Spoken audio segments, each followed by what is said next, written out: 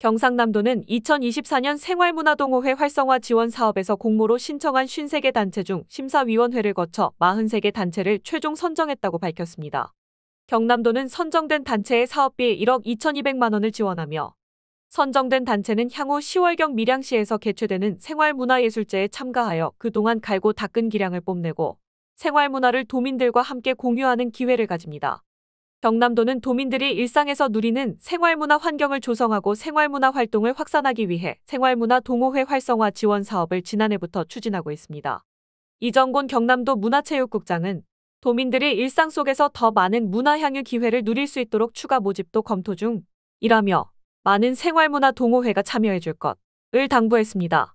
내외뉴스통신 박안평입니다.